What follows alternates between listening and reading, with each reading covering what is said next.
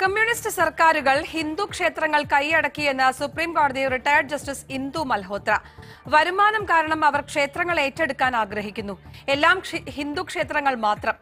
ശ്രീ പത്മനാഭസ്വാമി ക്ഷേത്രവുമായി ബന്ധപ്പെട്ട് നടത്തിയ ഇത്തരമൊരു ശ്രമം താനും ചീഫ് ജസ്റ്റിസ് യു യു ലളിതും ചേർന്ന് അവസാനിപ്പിച്ചുവെന്നും ഇന്ദു മൽഹോത്ര പറയുന്ന വീഡിയോ പുറത്തുവന്നു ശ്രീ പത്മനാഭസ്വാമി ക്ഷേത്രത്തിന് മുന്നിൽ വെച്ച് കാണാനെത്തിയ ഒരു കൂട്ടം ആളുകളോട് ഇന്ദു മൽഹോത്ര സംസാരിക്കുന്നതാണ് video. How can you, you know, exclude them from the administration? That's what happens with these communist governments. They want to just take over because of the revenue. Their problem is the revenue. All over they've taken over. All over. Only Hindu temples.